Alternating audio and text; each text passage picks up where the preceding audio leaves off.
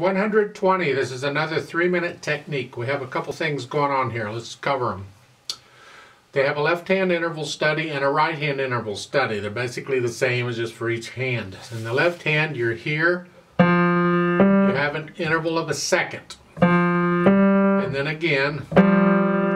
So we have melodic intervals and we have harmonic intervals. A melodic interval is like a melody where the notes are one after another.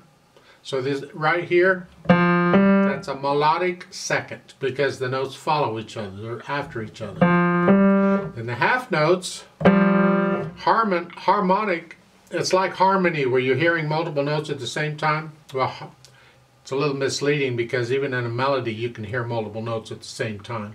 But the point is they're being played at the same time and that's called harmonic interval. So we have a harmonic interval. Melodic, harmonic. That's a second.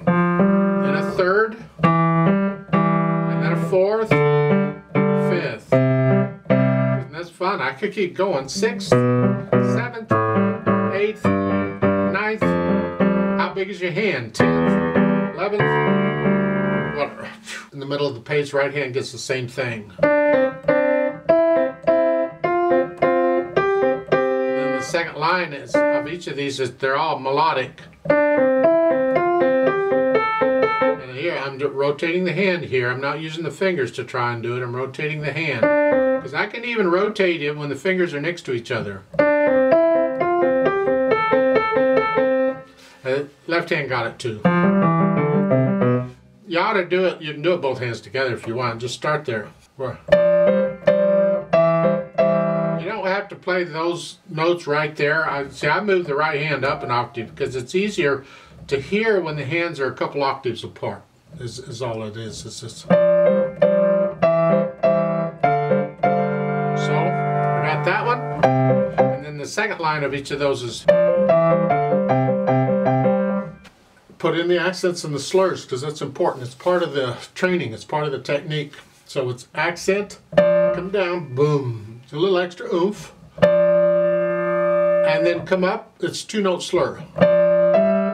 And then chord, just play the chord. You don't have to play it heavy. Just and then accent.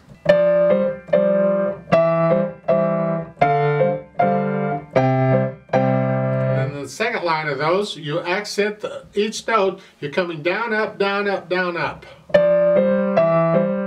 And you're rotating at the same time. Oh, there's nothing confusing about that. Mm -hmm.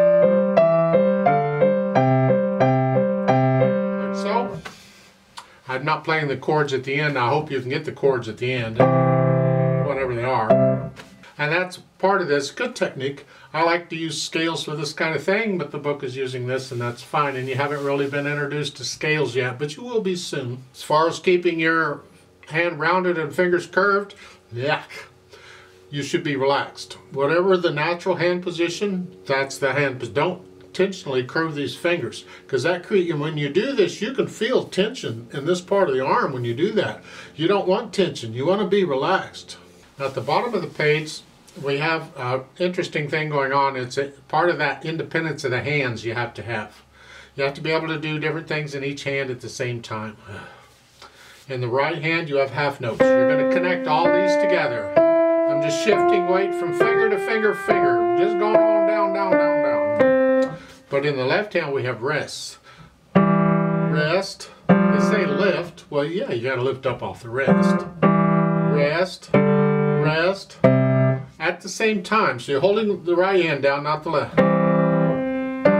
Rest. Rest. Rest. Rest. Rest. Rest. Rest. Like so. That takes a little bit of time to get a hang of it and you really ought to reverse it and do the play the half notes the, and then the quarter notes in the right hand. So it's that way. Rest, rest, rest, rest, rest. Like so. So you're doing it with each hand. You don't want to always get in the habit of one hand doing one thing and another. They have to be reversible.